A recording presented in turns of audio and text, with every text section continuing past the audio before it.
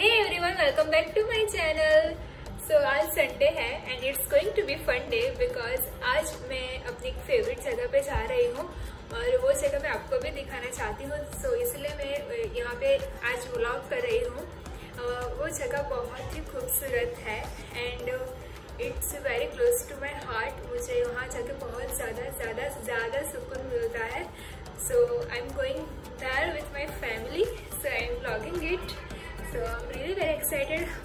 मैं अपनी फैमिली के